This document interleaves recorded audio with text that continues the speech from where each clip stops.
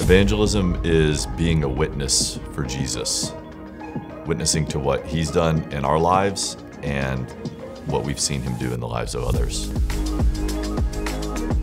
Having gospel conversations with people is really a natural progression of what we do, and it should be a natural flow and outflow of what we do from day to day as healthcare professionals.